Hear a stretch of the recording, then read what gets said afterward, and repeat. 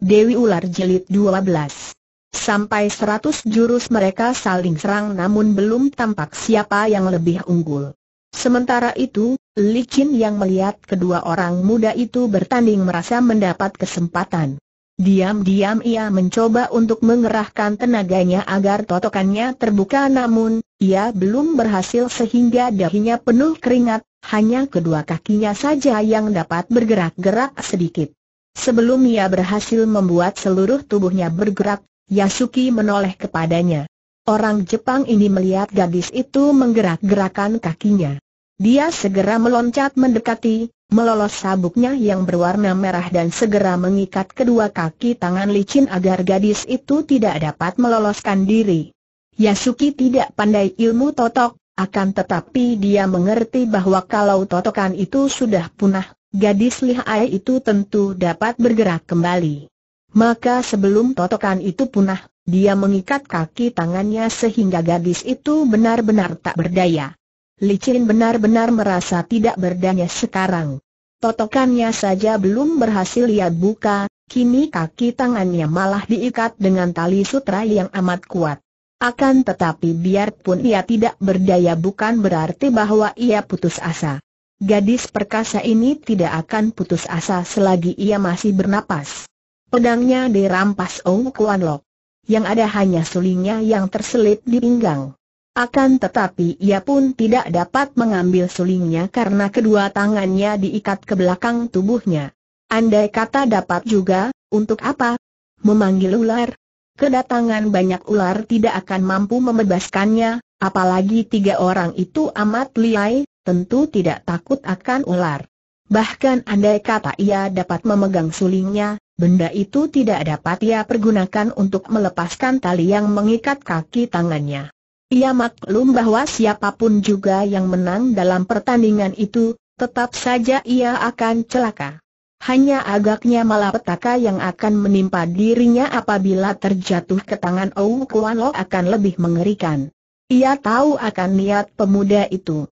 Pemuda itu hendak membalaskan sakit hati guru-gurunya, tentu akan menyiksa dan membunuhnya setelah mempermainkannya sebagai pemuas nafsunya. Mengerikan. Kalau terjatuh ke dalam tangan Siang Keantek mungkin masih ada harapan untuk lolos, karena pemuda itu menghendaki ia menjadi istrinya, dan tentu akan senang kalau ia menyerahkan diri dengan sukarela daripada dengan paksaan. Ia melirik ke arah mereka. Lebih dari seratus jurus mereka bertanding akan tetapi belum ada yang menang dan kalah. Siang Koantek melompat ke belakang sambil berseru, Tahan dulu Au Kuan Lok menghentikan gerakannya. Keduanya sudah berkeringat. Pertandingan yang seimbang itu menguras tenaga. Mengapa berhenti tanya Kuan Lok? Kita sudah bertanding lebih dari seratus jurus dan tidak ada yang mendesak atau terdesak. Kita seimbang dalam ilmu silat tangan kosong. Untuk menentukan kemenangan, bagaimana kalau kita menggunakan senjata bagus? Aku pun pikir lebih baik begitu kata Ong Kuan Lok.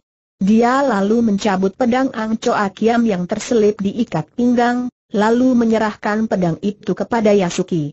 Biarlah pedang ini menjadi tambahan taruhan pertandingan ini setelah Yasuki menerima Ang Choa Kiam dan meletakkannya di dekat licin seolah-olah gadis dan pedang itu yang menjadi taruhan di antara kedua orang pemuda itu. Ong Kuan Lok lalu mencabut sepasang pedangnya dan memasang kuda-kuda di depan siang keantek.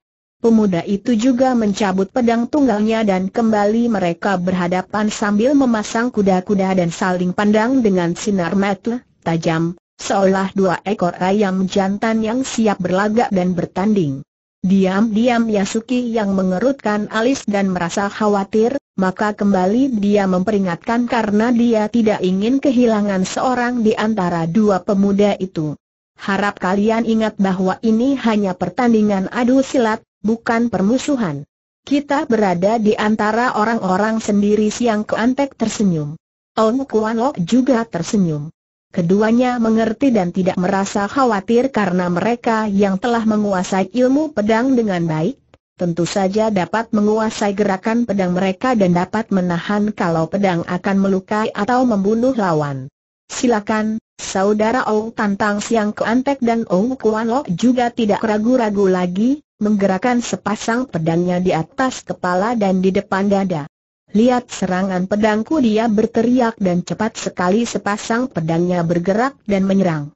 Namun siang keanteka juga sudah siap, dengan mudah dia mengelak dan pedangnya membalas dengan sambaran ke arah leher lawan. Teranggak dua batang pedang bertemu dan bunga api berpijar. Keduanya mundur untuk memeriksa pedang masing-masing. Ternyata pedang mereka tidak rusak, maka mereka menerjang maju lagi dan terjadilah pertandingan yang lebih hebat daripada tadi karena kini yang menyambar-nyambar dahsyat adalah tiga batang pedang yang membentuk lingkaran-lingkaran sinar yang menyilaukan mata. Licin masih berusaha untuk memunahkan totokan yang membuat ia tidak mampu bergerak.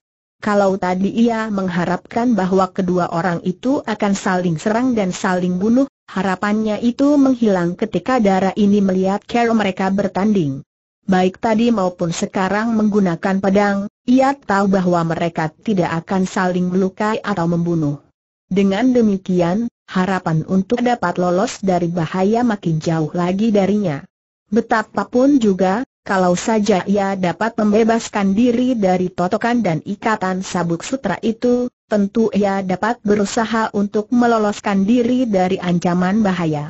Yasuki yang amat tertarik oleh pertandingan pedang antara kedua orang pemuda itu yang kini terlibat dalam pertandingan yang amat seru. Jago dari Jepang ini kagum sekali dan dia tahu benar bahwa dia sendiri tidak akan mampu menandingi seorang di antara kedua orang pemuda itu.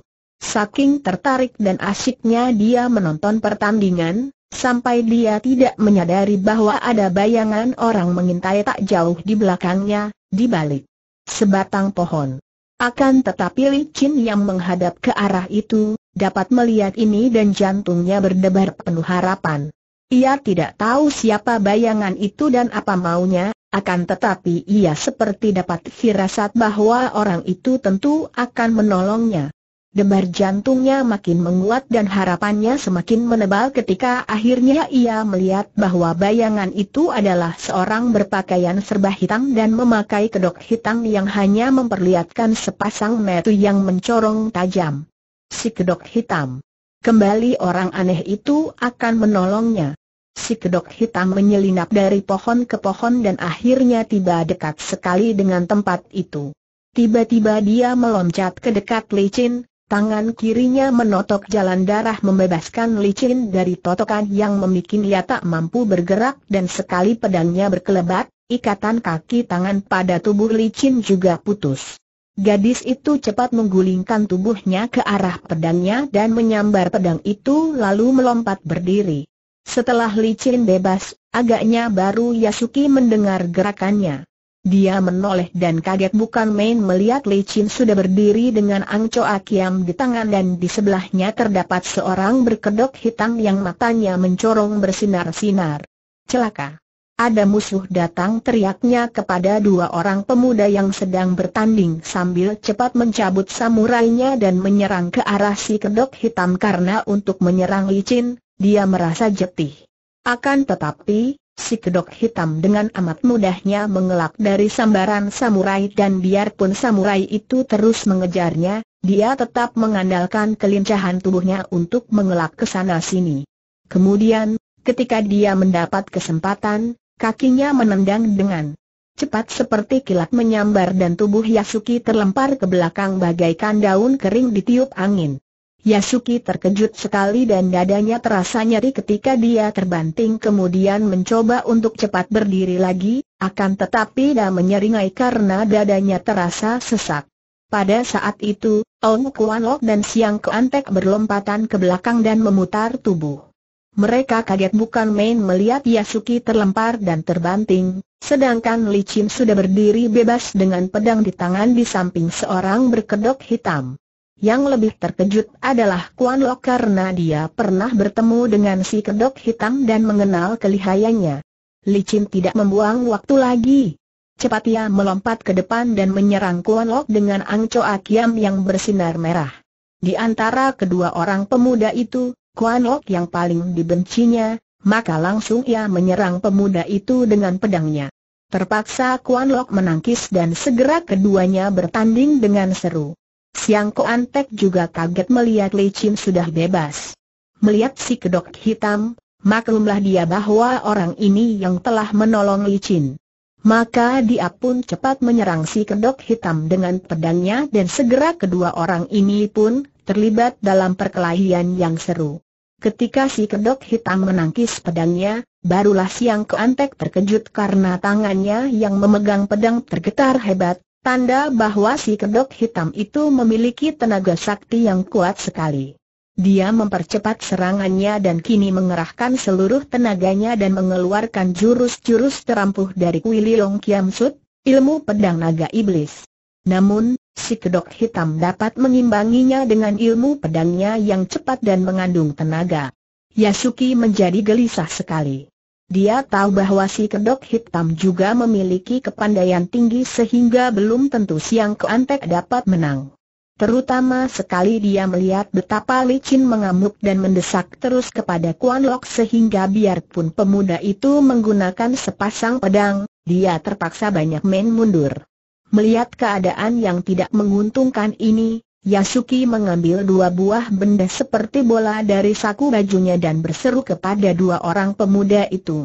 Mari, cepat kita pergi dan dia lalu membanting kedua buah bola itu. Terdengar dua kali suara ledakan dan tampak asap putih mengepul tebal. Melihat ini, Li Chin teringat betapa tadi dia dapat tertawan juga karena si Jepang itu mempergunakan alat peledak. Maka ia cepat berseru kepada si kedok hitam. Cepat menghindar ke belakang ia sendiri melompat dengan cepat menjauhi asap tebal yang mengaburkan pandangan mata itu. Ternyata si kedok hitam juga sudah melompat ke belakang. Ketika kemudian mereka mencari-cari tiga orang itu sudah tidak berada di situ lagi, telah melarikan diri dengan bantuan asap tebal sehingga tidak tampak oleh licin dan si kedok hitam. Licin membanting-banting kaki dengan hati kesal. Mereka dapat melarikan diri lagi mereka sudah pergi, tidak dapat dikejar lagi. Dua orang itu memang lihai sekali, sobat, kembali engkau telah menyelamatkan aku dari malapetaka yang hebat. Dua kali engkau menolongku. Akan tetapi bagaimana mungkin aku akan dapat membalas budi kebaikanmu itu kalau aku tidak tahu engkau ini siapa? Karena itu, ku mohon kepadamu, perkenalkanlah wajah dan namamu kepadaku, si kedok hitam menghela napas panjang.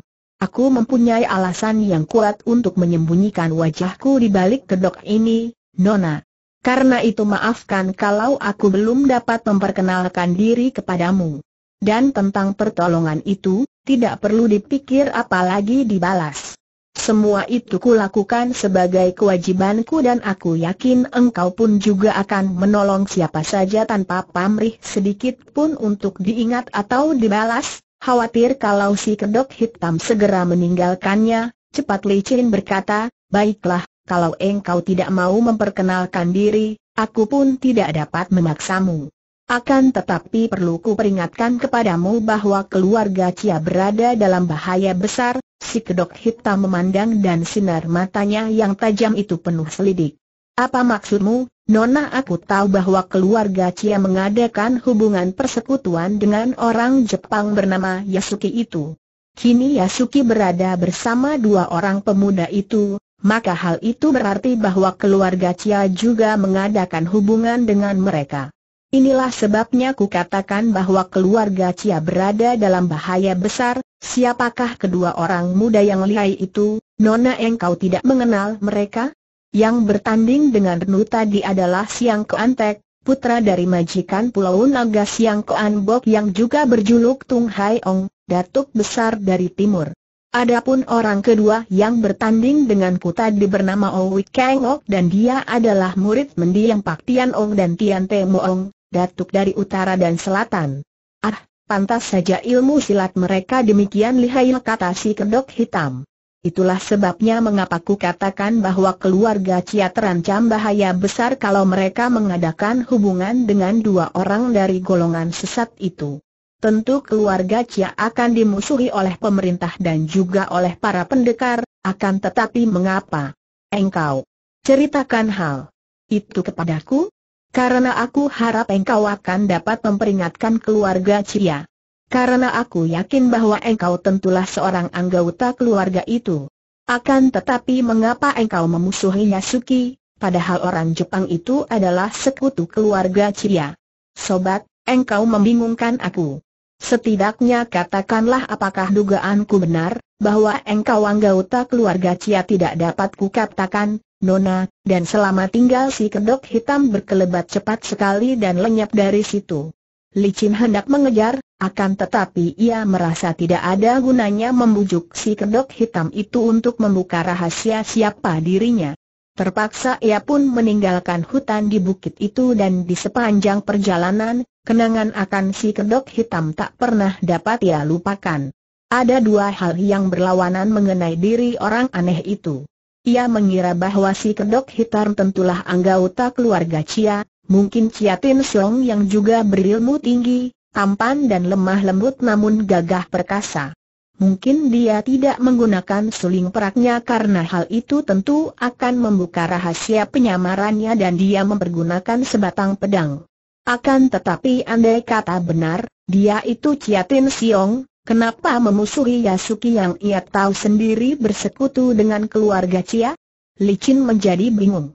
Hatinya tertarik dan terkesan sekali dengan kepribadian si kedok hitam yang telah dua kali membebaskannya dari ancaman bahaya yang lebih mengerikan daripada maut. Ingin rasanya selalu berdekatan dan bercakap-cakap dengan si kedok hitam.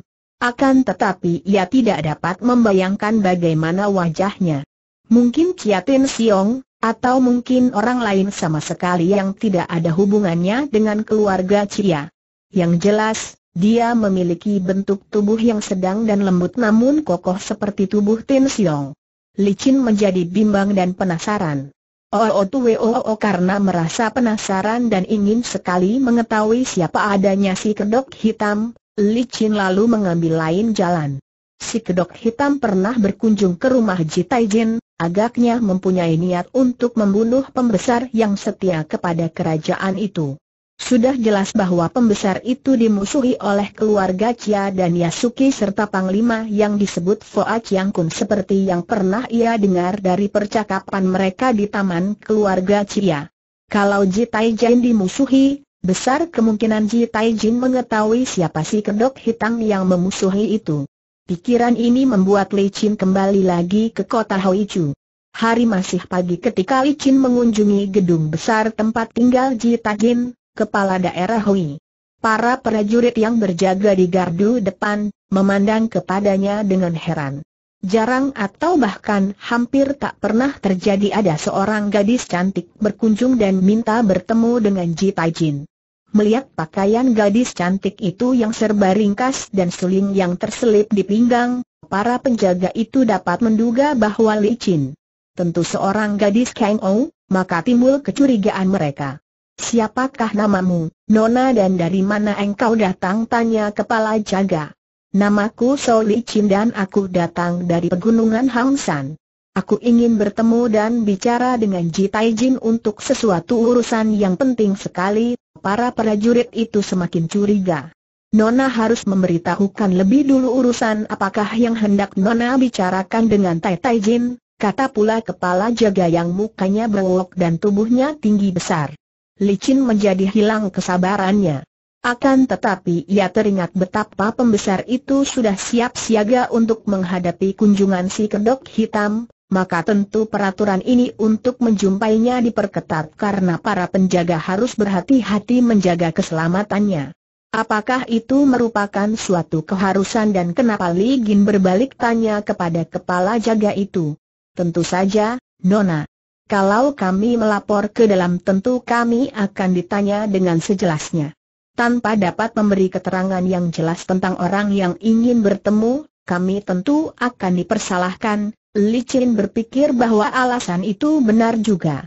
Yang hendak dikunjungi adalah seorang pembesar, orang terpenting di Chu karena Ji Taijin adalah kepala daerah, maka tentu saja sebelum menemuinya, Pembesar itu tentu ingin tahu lebih dulu apa yang menjadi maksud kunjungannya.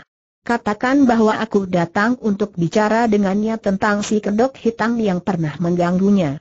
Benar saja. Ketika mendengar ini, Semua penjaga yang jumlahnya kurang lebih 15 orang itu terbelalak dan segera mengepung licin. Nona So, apa yang kau ketahui tentang si kedok hitam? Tahukah engkau di mana dia sekarang bersembunyi? Kami harus menangkapnya aku tidak tahu di mana dia bersembunyi. Akan tetapi ketika malam itu dia berkunjung ke gedung ini, di atas atapnya aku pernah bertemu dengannya dan kami sampai bertanding. Akan tetapi dia dapat meloloskan diri dan lari. Karena itulah hari ini aku ingin bicara dengan Ji Taijian tentang dia. Nah, sudah jelaskah? Jangan mengira bahwa aku bermaksud buruk terhadap Ji Taijin. Aku tahu bahwa beliau adalah seorang pembesar yang bijaksana, aku bahkan hendak melindunginya kalau begitu, duduklah dulu, Nona Sou. Akan kami kabarkan ke dalam dan kalau Ji Taijin sudah menyatakan bersedia bertemu denganmu, tentu engkau akan kami hadapkan beliau. Licin mengangguk lalu duduk di atas bangku dalam gardu itu. Para penjaga memandangnya dari luar gardu dengan sinar mata kagum mendengar bahwa gadis itu pernah bertanding dengan si kedok hitam.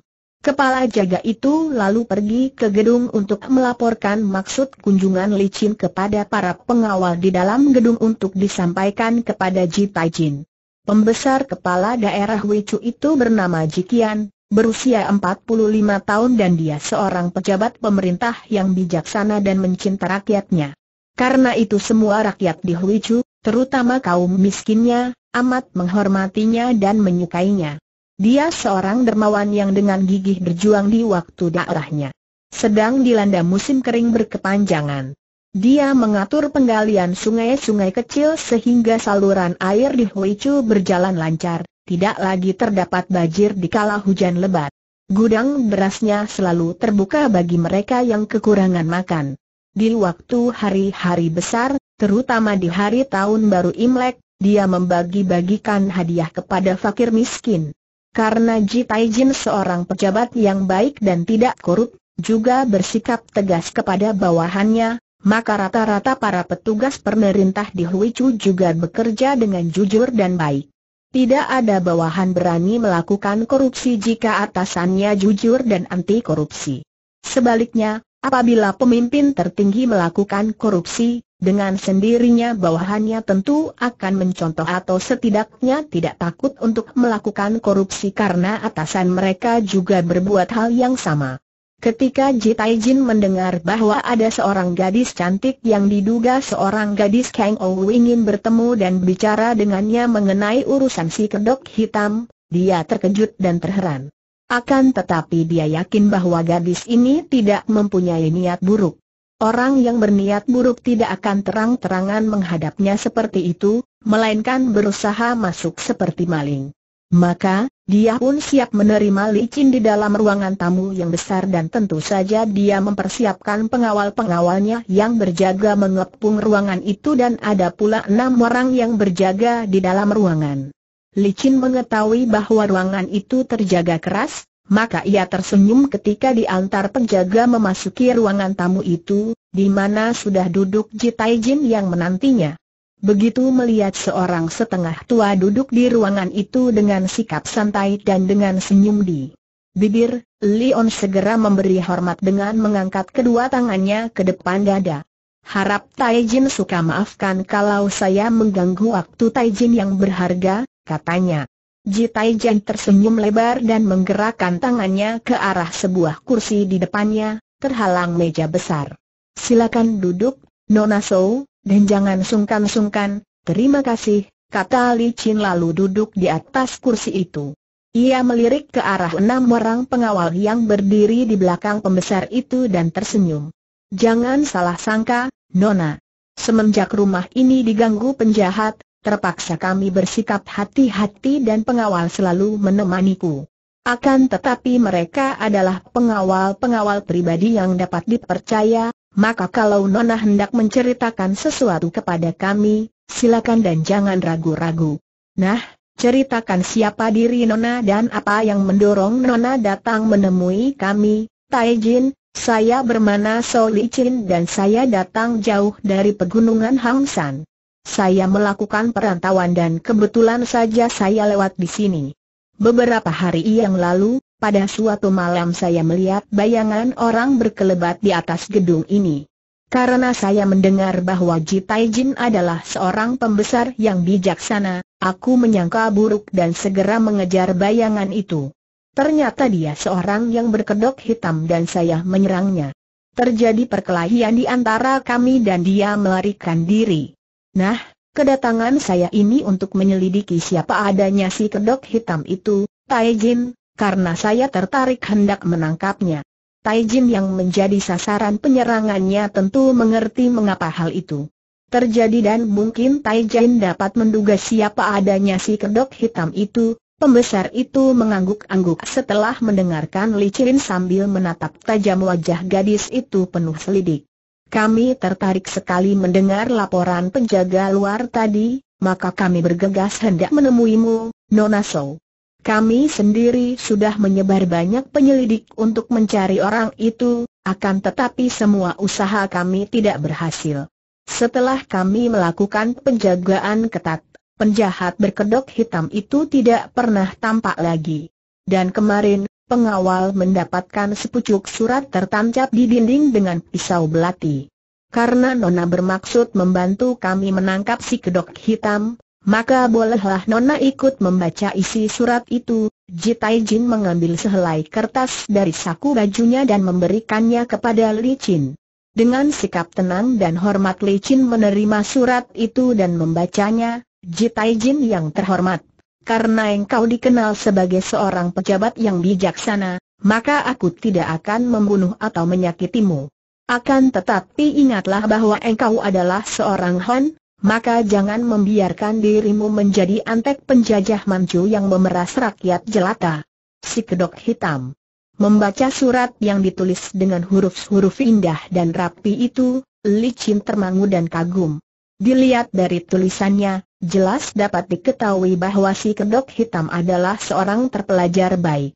Kata-katanya hormat dan halus, tulisannya gagah dan lembut. Ia mengembalikan surat itu kepada Ji Taijin yang menyimpannya kembali.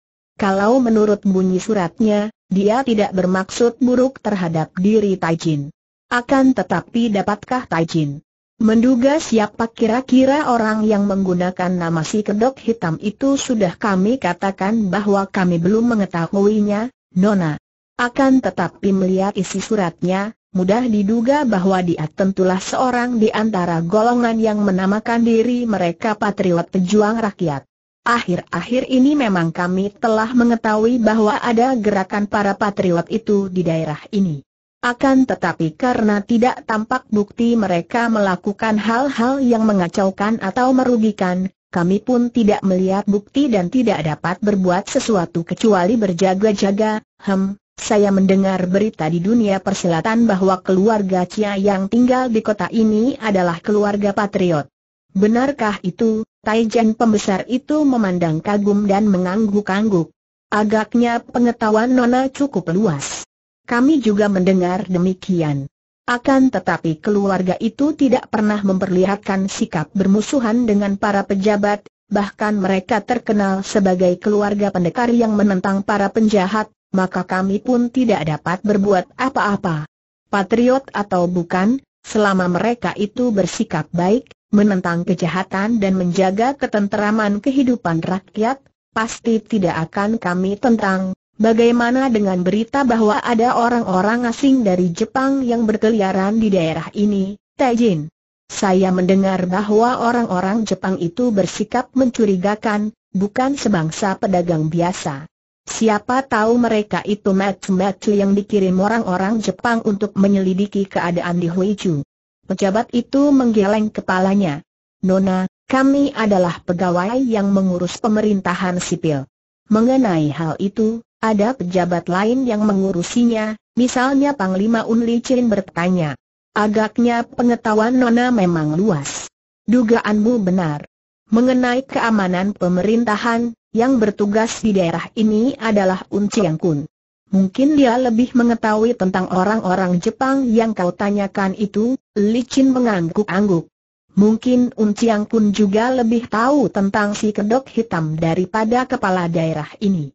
Ia lalu bangkit berdiri dan berkata, banyak terima kasih atas kesediaan Taijin menerima saya dan atas semua keterangan yang saya dapatkan. Saya mohon diri, Taijin, dan mudah-mudahan si kedok hitam tidak akan mengganggu Taijin lagi. Selamat tinggal, Ji Taijin membalas penghormatan itu karena dia dapat menduga bahwa gadis itu bukan orang sembarangan dan berkata ramah, selamat jalan, Nona, biarpun ia tidak mendapat keterangan siapa adanya si kedok hitam, setidaknya ia tahu banyak tentang orang aneh itu, bahkan melihat tulisannya yang indah.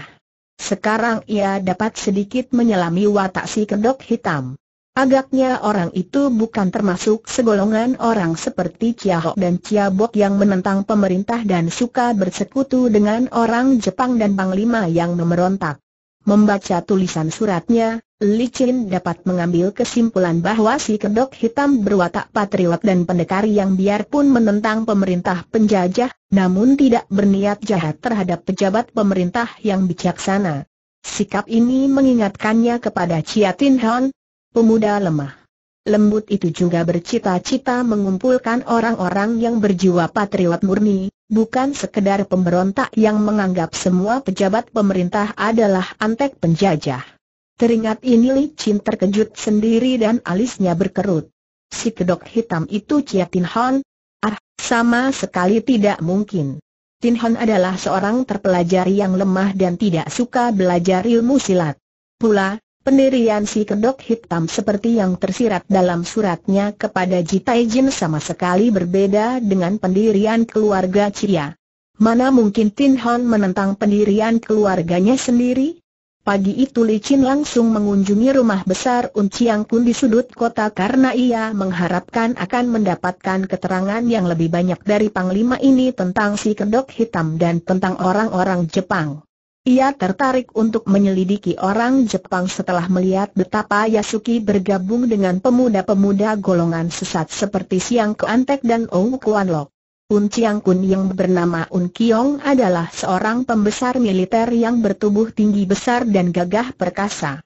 Pakaian panglimanya selalu rapi dan sikapnya terus terang dan terbuka mencerminkan watak yang jujur dan tidak suka berbelit-belit. Di Huichu dia amat terkenal sebagai seorang panglima yang bersikap menyayang dan lembut terhadap anak buahnya, akan tetapi kalau ada anak buah yang berbuat kesalahan, dia dapat bersikap keras dan penuh disiplin. Setelah dia memimpin pasukan di Huichu, daerah itu menjadi aman dari perampok dan penindas rakyat. Kalau ada orang mempergunakan kekuatan dan kekuasaan bersikap sewenang-wenang dan rakyat yang ditindas itu melapor kepadanya, langsung akan dia tangani. Dan dia hukum mereka yang bertindak sewenang-wenang mengandalkan kekuatan dan kekuasaan itu. Karena ini, dia amat dibenci oleh bangsa perampok dan pencuri, akan tetapi disayang oleh rakyat. Rakyat di daerah Huichu merasa bahagia mempunyai seorang pembesar seperti Ji Taijin dan seorang panglima seperti Un Chiang Kun. Mereka dapat tidur nyenyak dengan penuh keyakinan bahwa tidak ada orang jahat berani mengganggu mereka. Mereka si rakyat kecil merasa terlindung, karenanya rakyat akrab dan menyayang prajurit.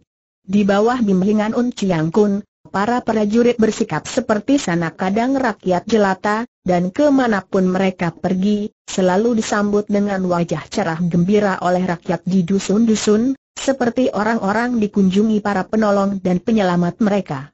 Un Chiang Kun tahu bahwa negara baru kuat kalau pasukannya dan rakyatnya bersatu padu. Rakyat yang merasa dilindungi akan membalasnya dengan rasa setia kawan dan tentu dengan senang hati akan membantu petugas pasukan untuk menentang kejahatan dan menjaga keamanan.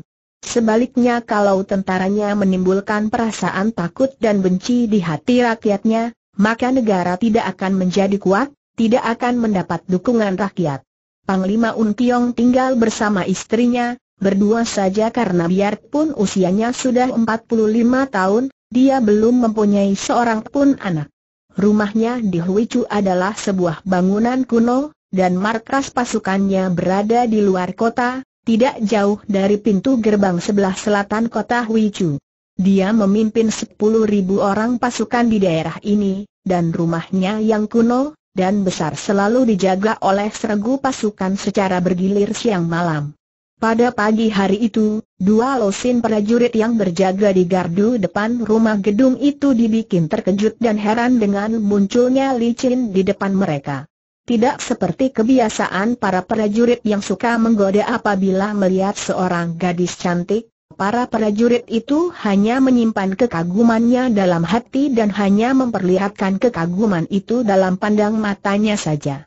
Satu di antara pantangan besar bagi Panglima Un adalah kalau anak buahnya menggoda dan menghina wanita. Dilarang keras mengganggu wanita, akan tetapi para prajurit itu diizinkan kalau mau menikah secara baik-baik. Untuk keluarga prajurit disediakan tangsi sebagai tempat tinggal mereka. Dua losin orang prajurit itu memandang kepada licin dan kepala regu segera maju menghadapi gadis yang berhenti di depan gardu mereka itu. Nona mencari siapakah? Dapatkah kami membantumu? Nona kepala regu itu tinggi besar bermuka hitam, akan tetapi sikapnya yang sopan dan ramah menyenangkan hati licin. Gadis itu tersenyum dan wajahnya lebih cerah lagi melihat betapa para prajurit lainnya hanya memandang kepadanya, tidak ada yang membuat gerakan atau mengeluarkan kata-kata tidak sopan. Dari sikap para prajurit ini saja Li Chin dapat menduga bahwa panglimanya tentu seorang yang bijaksana dan berdisiplin. Terima kasih. Aku ingin bertemu dengan Un Chiang Kun. Dapatkah saudara melaporkan kedatanganku kepadanya? Kepala regu itu mengamati Li Chin dengan penuh perhatian. Dia melihat suling yang terselip di pinggang itu dan matanya yang tajam juga melihat lingkaran berwarna keemasan di pinggang itu. Sebagai seorang yang Berpengalaman tahulah dia bahwa benda yang melibat pinggang ramping gadis itu adalah sebatang pedang yang lentur dan baik. Dia mengerutkan alisnya. Nona, beritahukan dulu. Namamu. Dan, apa? Keperluanmu. Namaku Soli Chin dan aku ingin bicara dengan Un Chiang Kun mengenai si kedok hitam dan orang-orang Jepang. Kepala regu itu membelalakan matanya dan pandang matanya menjadi waspada. Nona, menurut penuturan di sini, siapa yang hendak menghadap Pun Chiang Kun tidak diperbolehkan membawa senjata. Karena itu, lepaskan pedangmu itu dan tinggal di sini, Li Chin tersenyum dan meraba pinggangnya. Aku tidak dapat dipisahkan dari pedangku ini. Akan tetapi aku hendak menghadap Pun Chiang Kun dengan niat baik, tidak mempunyai niat untuk menyerangnya. Katakanlah kepada Un Chiang Kun bahwa aku membawa berita yang penting baginya, kepala regu itu merasa ragu. Akhirnya dia berkata, Nona tunggulah di sini sebentar, biar aku melaporkan ke dalam untuk bertanya apakah Un Chiang Kun bersedia menerimamu ataukah tidak. Licin mengangguk lalu duduk di atas sebuah bangku di dalam gardu. Sikapnya tenang sekali membuat para prajurit memandang semakin kagum.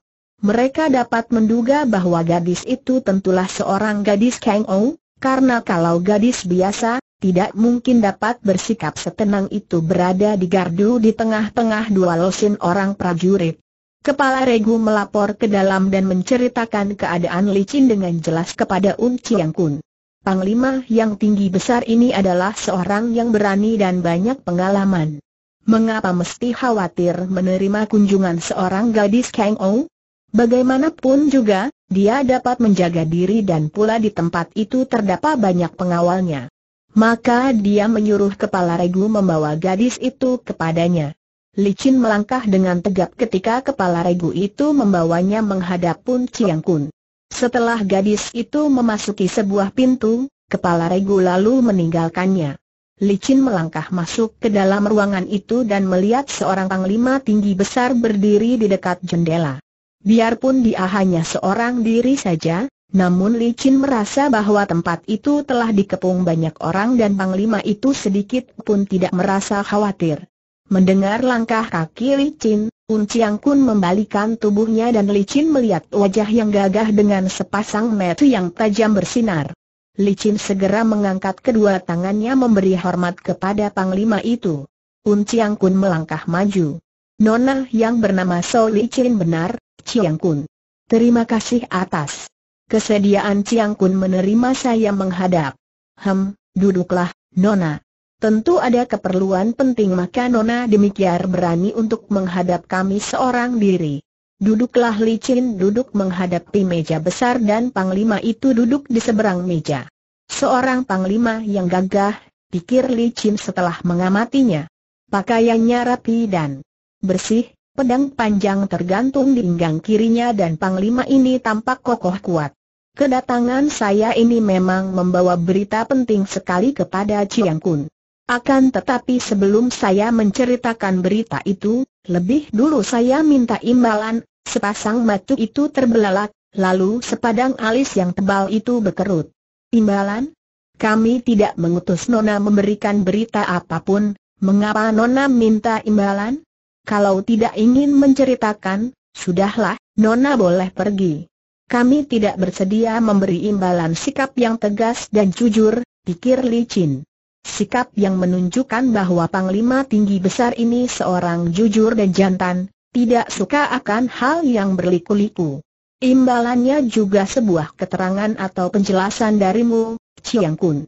Saya ingin bertanya kepada Chiang Kun tentang seorang yang selalu memakai kedok hitam.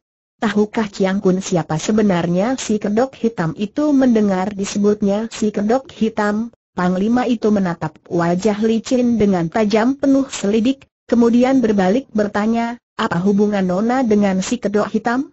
Mengapa Nona menanyakannya licin maklum dari ucapan Panglima itu bahwa dia tentu sedikit banyak mengetahui tentang si kedok hitam, maka ia pun berterus terang, Ciang Kun, pada beberapa malam yang lalu saya melihat bayangan berkelebat di atas gedung tempat tinggal Ji Taijin. Saya mengejar bayangan itu dan kami sempat bertanding akan tetapi bayangan itu melarikan diri. Bayangan itu memakai kedok hitam maka selanjutnya saya menamakan dia si kedok hitam. Ilmu silatnya lihai sekali dan saya ingin sekali menyelidiki siapa sebenarnya dia. Saya telah mengunjungi Ji Taijin, akan tetapi dia pun tidak tahu siapa si kedok hitam itu. Karena itu saya datang menghadap Chiang Kun dengan harapan Chiang Kun mengetahui tentang si kedok hitam itu. Ketika Licin bicara, sepasang mata Panglima itu mengamatinya dengan penuh perhatian.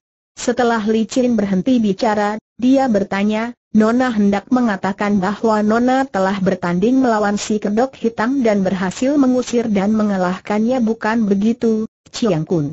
Kami memang bertanding, akan tetapi sebelum ada yang kalah atau menang, dia sudah melarikan diri menghilang dalam kegelapan malam, Nona mencari dia. Apakah maksudmu kalau saya dapat mengetahui siapa dia, saya akan menemuinya dan menantangnya untuk bertanding kembali menentukan siapa yang lebih unggul, juga saya akan menegurnya karena dia berani mengancam dan membuat ribut dalam tempat tinggal Jita Jin, seorang pembesar yang bijaksana dan baik, Hem, agaknya Nona ini seorang pendekar kini Panglima itu bertanya sambil tersenyum. Saya adalah seorang yang menentang kejahatan, Chiang Kun. Dan saya akan membela kalau ada seorang baik-baik diganggu seperti halnya Ji Taijin. Nah, sekarang saya harap Chiang Kun suka menceritakan tentang si kedok hitam dan nanti saya akan menyampaikan berita yang amat penting kepada Chiang Kun tentang orang Jepang, Panglima itu mendadak bangkit berdiri dan tertarik sekali. Orang Jepang harap Chiang Kun tenang dan bersabar dulu. Saya masih menanti keterangan Chiang Kun tentang si kedok hitam. Panglima itu menghela napas panjang. Nona tunggulah sebentar, aku akan mengambil sesuatu. Setelah berkata demikian, dia meninggalkan ruangan itu dan masuk ke dalam. Tak lama lagi dia muncul kembali dan duduk di kursinya yang tadi. Terus terang saja, kami juga tidak tahu siapa si kedok hitam walaupun pada suatu malam bayangan orang berkedok hitam sempat membuat gempa markas ini. Beberapa orang penjaga melihat berkelebatnya bayangan orang dan melihat seorang berkedok hitam di atas rumah kami, akan tetapi ketika bayangan itu dikejar, dia lenyap dan hanya meninggalkan surat ini yang ditusuk pisau yang menancap di daun pintu. Inilah suratnya, Nona, Licin menerima surat itu dan ia tidak ragu lagi bahwa penulis surat itu juga penulis surat yang diterima Ji Chiang Kun. Bahkan isinya pun hampir sama. Un Klang Kun, engkau adalah seorang yang pandai dan gagah bijaksana, akan tetapi mengapa merendahkan diri menjadi perwira pasukan kerajaan penjajah? Sepatutnya orang seperti engkau ini menggunakan kepandaian untuk menentang penjajah mancu. Akan tetapi karena engkau bertindak baik terhadap rakyat jelata, kami masih mengampunimu. Akan tetapi awas kalau engkau sampai menjadi antek penjajah yang menindas rakyat jelata, kami pasti akan membuat perhitungan denganmu. Si kedok hitam. Setelah membaca dan mengembalikan surat itu kepada Un Chiang Kun, Li Chin berkata, tulisan dan nadanya sama dengan surat yang diterima Ji Taijin. Un Chiang Kun mengangguk. Kami telah menerima pelaporan Ji Taijin dan kami sudah saling memperlihatkan surat itu, menurut pendapat Chiang Kun, siapakah kiranya si kedok hitam ini? Kami juga sudah menyebar penyelidik mencarinya, namun sejauh ini belum berhasil. Kami sungguh tidak dapat menduga siapa adanya si kedok hitam itu, menurut Chiang Kun, dia itu orang macam apakah dan dari golongan mana melihat isi suratnya, tak dapat disangsikan lagi dia tentu seorang yang berjiwa patriot, yang membenci pemerintah kerajaan Manchu yang berkuasa di tanah air. Nah, sekarang kita telah bicara panjang lebar mengenai si kedok hitam, bahkan kami telah memberitahu kepada Nona segala yang kami ketahui mengenai dia. Lalu apakah berita penting yang hendak Nona sampaikan kepada kami apa yang hendak saya sampaikan kepada Chiang Kun adalah berita amat penting bagi Chiang Kun. Belum lama ini saya melihat seorang Jepang bernama Yasuki, bahkan sudah bertanding melawannya dan orang Jepang bernama Yasuki itu telah bersekongkol dengan Foa Chiang Kun yang agaknya hendak melakukan pemberontakan. Saya mendengar sendiri percakapan mereka dan mereka bahkan merencanakan pembunuhan atas diri Chiang Kun dan Ji Chiang Kun. Hanya itulah berita yang dapat saya sampaikan kepada Chiang Kun, Un Chiang Kun mengangguk-angguk. Berita itu amat penting dan terima kasih atas pemberitahuan Nona. Memang kami telah menaruh curiga kepada Foa Chiang Kun karena selama ini agaknya dia bersikap longgar terhadap para bajak laut dan perampok Jepang, akan tetapi tidak pernah menduga bahwa dia bersekongkol dengan orang Jepang. Akan kami awasi dia dengan ketat, apakah kalau menurut Chiang Kun, si kedok hitam tidak ada hubungannya dengan komplotan itu Un Chiang Kun menggeleng kepala. Kami rasa tidak, Nona. Kalau si kedok hitam mempunyai hubungan dengan mereka, tentu dia akan melakukan penyerangan terhadap kami atau Ji Taijin, bukan memberi surat peringatan seperti itu.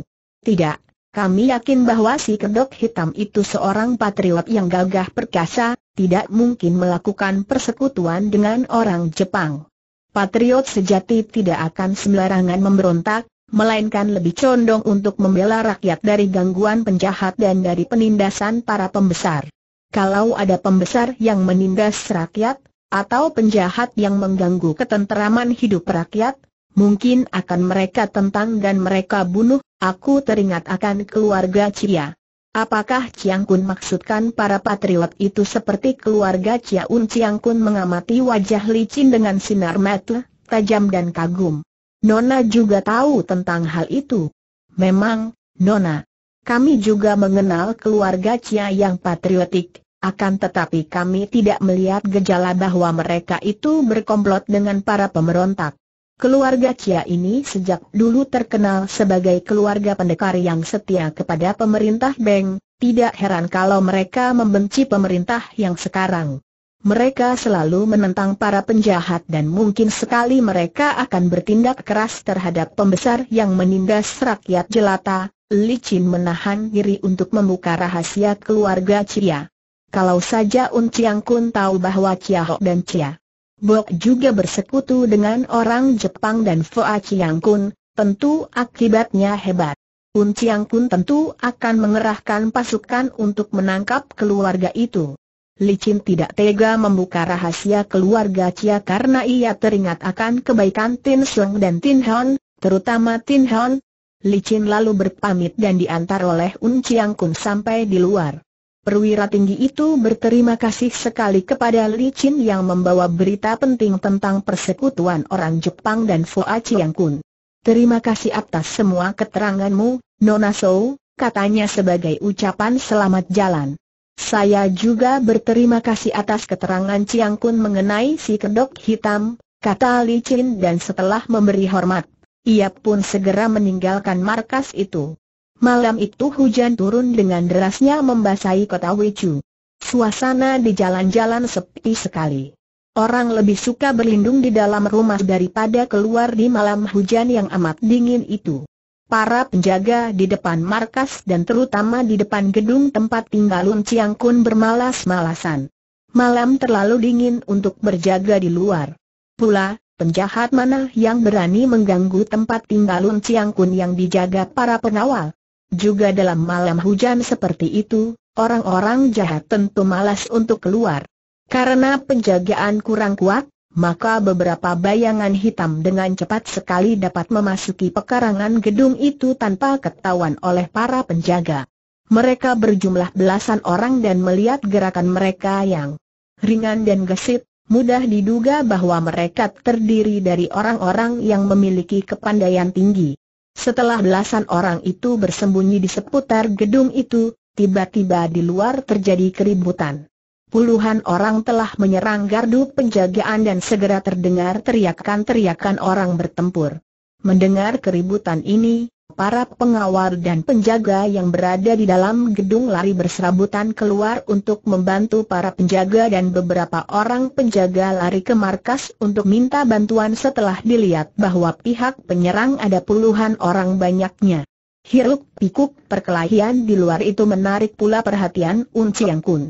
Dia segera terbangun dari tidurnya dan mendengar laporan seorang pengawal bahwa rumah itu diserbu puluhan orang. Un Chiang Kun segera mengenakan pakaian komandan dan keluar sambil membawa pedangnya.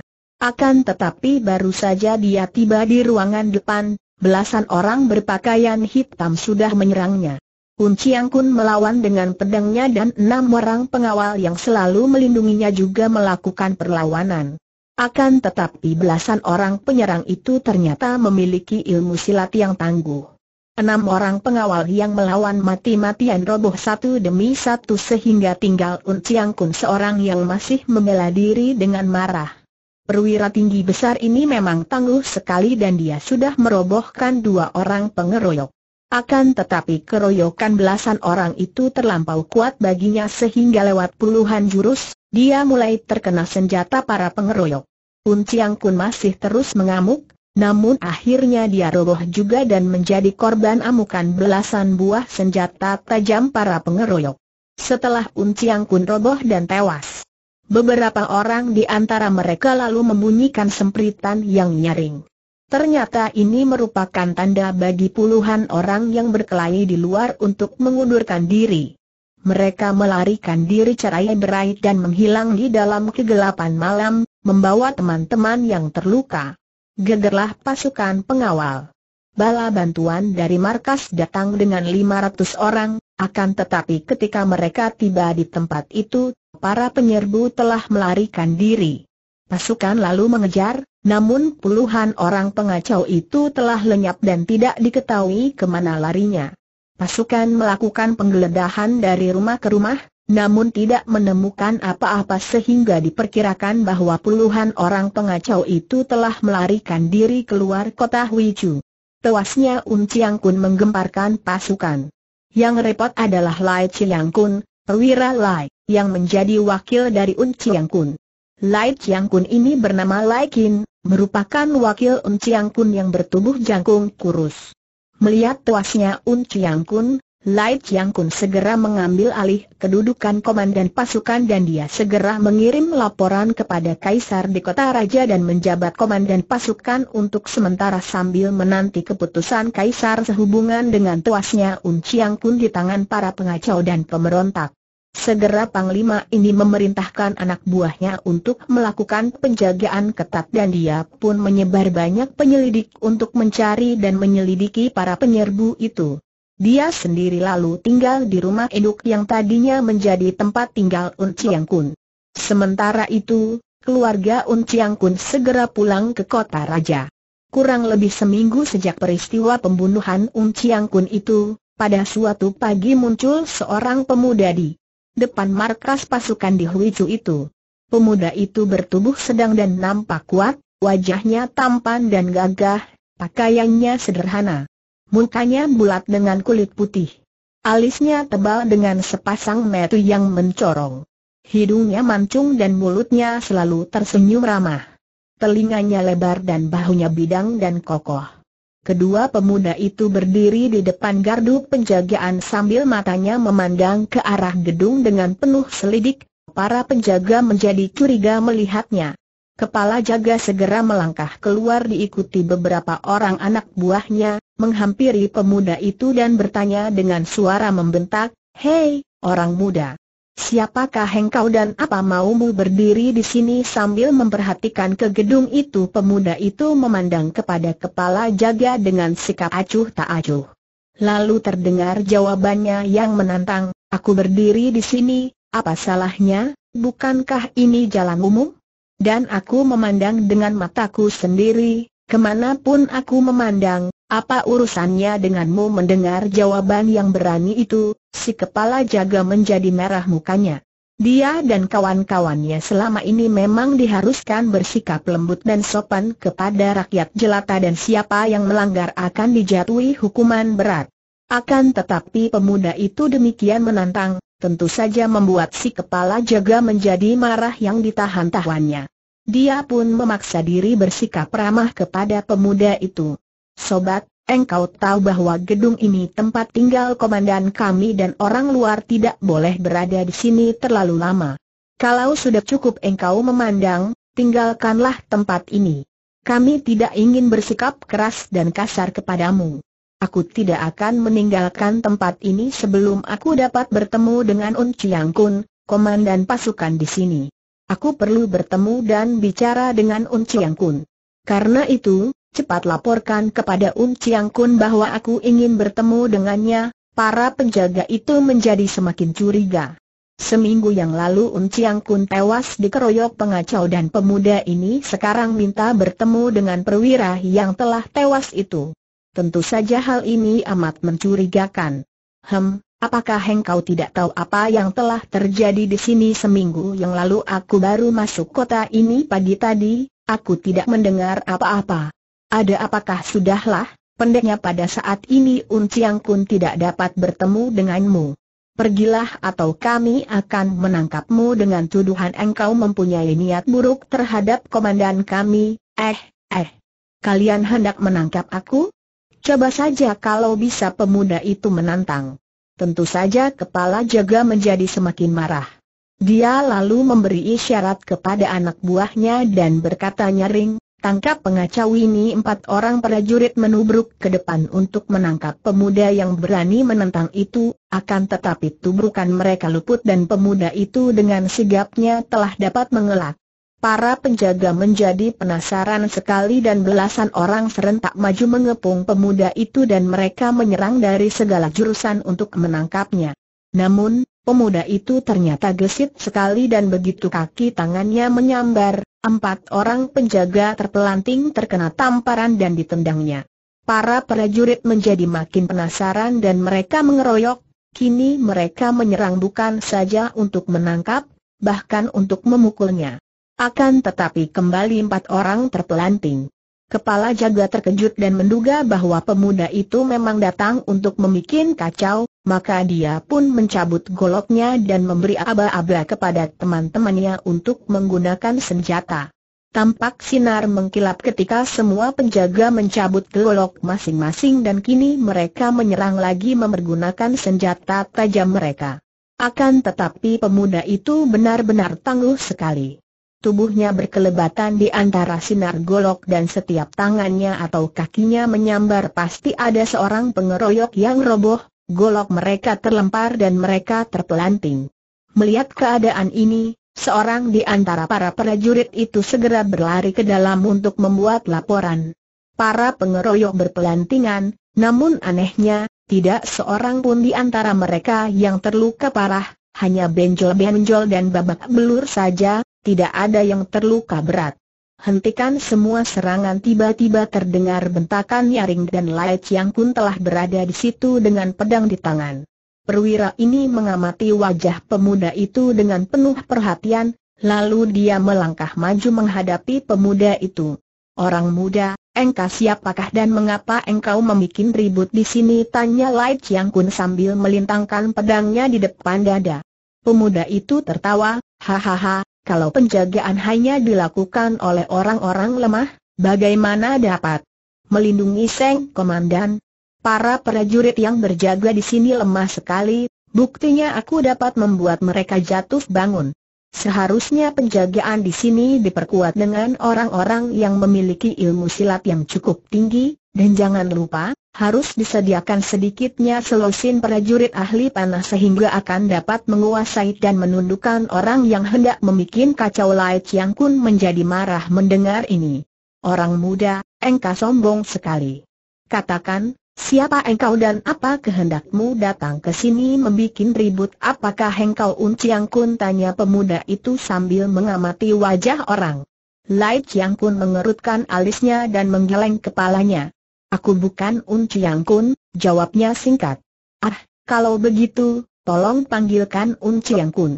Aku ingin bertemu dan bicara dengan Un Chiang Kun. Un Chiang Kun tidak ada, yang ada aku, wakilnya, aku bernama Lai Kin. Siapakah engkau, orang muda aku bernama Song Tian Li dan aku tidak ingin bicara dengan orang lain kecuali Un Chiang Kun karena yang akan kubicarakan adalah urusan yang harus ditangani oleh Un Chiang Kun sendiri, pemuda itu memang Song Tian Li. Seperti kita ketahui, Panglima Song ini diutus oleh Kaisar sendiri untuk melakukan penyelidikan ke wilayah timur dan untuk itu, Tian Li sengaja menanggalkan pakaian panglima dan mengenakan pakaian rakyat biasa. Mendengar nama itu, Lai Chiang Kun terkejut bukan main. Tentu saja dia mengenal nama panglima besar ini, akan tetapi dia masih ragu-ragu karena dia sendiri belum pernah bertemu muka dengan Song Chiang Kun. Bagaimana kami dapat tahu bahwa engkau bernama Song Tian Li tanyanya ragu. Tian Li lalu mengambil surat kuasa dari Kaisar dan memperlihatkannya kepada Lai Chiang Kun. Melihat ini, Lai Chiang Kun lalu berlutut dengan kaki kanan dan memberi hormat seperti penghormatan kepada Kaisar sendiri. Tian Li menyimpan kembali surat kuasanya dan dia berkata dengan lembut, Nah, sekarang harap panggilkan Un Chiang Kun untuk menghadapku. Lai Chiang Kun segera bangkit dan berkata lirih, Un Chiang Kun telah terbunuh, Mari silakan masuk ke dalam, Seng Chiang Kun dan kita bicara di dalam. Tian Li terkejut sekali mendengar ini dan dia pun segera mengikuti perwira itu masuk ke dalam. Lai Chiang Kun mempersilakan Tian Li duduk dan setelah memberi hormat dia pun duduk berhadapan dengan pemuda itu. Sekarang ceritakan apa yang telah terjadi sehingga Un Chiang Kun terbunuh, Lai Chiang Kun, kata Tian Li dengan suara memerintah dan berwibawa. Lai Chiang Kun lalu menceritakan tentang peristiwa malam itu. Semua terjadi begitu tiba-tiba, Chiang Kun, dia mengakhiri ceritanya. Sebelum penyerbuan itu terjadi, tidak terlihat tanda-tanda bahwa akan terjadi penyerangan. Malam gelap dan hujan, maka para penjaga menjadi terkejut ketika tiba-tiba diserbu oleh puluhan orang banyaknya. Para penyerbu itu rata-rata memiliki ilmu silat tinggi dan Unciang pun dikeroyok belasan orang yang lihai. Biarpun dia dibantu oleh beberapa orang pengawalnya, namun akhirnya dia roboh juga dan terbunuh bersama semua pengawalnya, Tian Li mengerutkan alisnya yang tebal. Akan tetapi, bagaimana sampai ada belasan orang penjahat yang dapat masuk padahal penyerangan puluhan orang itu telah dilawan oleh pasukan yang bertugas jaga, bukan memang demikianlah. Tidak ada yang melihat ada yang dapat menyerbu masuk. Tahu-tahu telah ada belasan orang itu yang menyerbu ke dalam, tentu mereka itu sudah dapat memasuki gedung sebelum penyerangan dilakukan. Mereka tentu telah menyelundup masuk tanpa diketahui penjaga, hem, Memang aku melihat sendiri betapa penjagaan di sini kurang ketat dan sebaiknya para penjaga itu diganti oleh orang-orang yang lebih tangguh. Apakah sebelum peristiwa pembunuhan atas diri Un Chiang Kun itu terjadi, tidak ada tanda-tanda bahwa di daerah ini terdapat gejala-gejala pemberontakan?